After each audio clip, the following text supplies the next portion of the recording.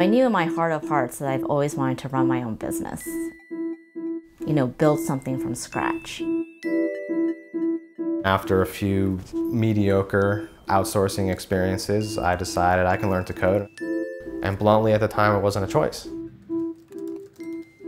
This is my first foray into kind of the entrepreneurial world. And I kept the idea really close to my chest, but I learned very quickly that no one cares. We have short attention spans, and we see things as overnight successes, and it's really easy to look at insert the blank startup and just assume there were no failures along the way, and that's just false.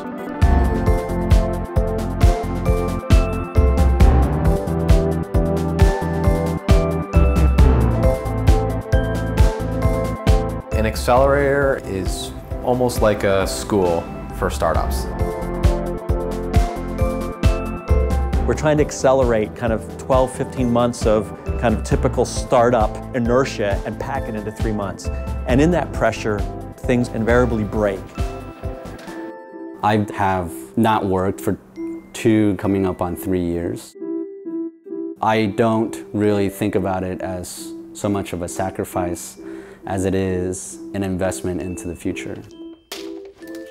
I've eaten plenty of ramen noodles and I've slept on plenty of couches, but that's, that's kind of the Hollywood version of it. 15 years ago, everybody wanted to be Bill Gates. Now they all want to be Mark Zuckerberg. And the reality is running a company is not that easy and it's often not that fun.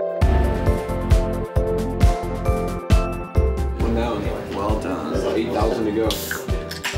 Pitch decks are table stakes. In order for a founder to really stand out of the crowd, they've got to actually be able to communicate and inspire.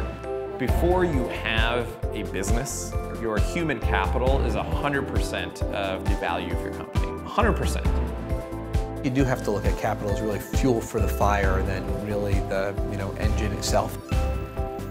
You've got to have a, a big vision. You're going to get up every day and you're going to try to rally other people around your, your idea. You've got to be passionate about it. You really have to believe that you have the potential to, to change the world.